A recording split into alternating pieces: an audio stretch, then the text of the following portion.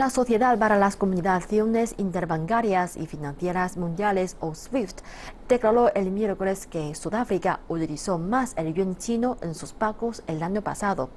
Según los datos de SWIFT, los pagos en yuanes en Sudáfrica ascendieron un 65% en los últimos 12 meses y un 112% en los últimos dos, años.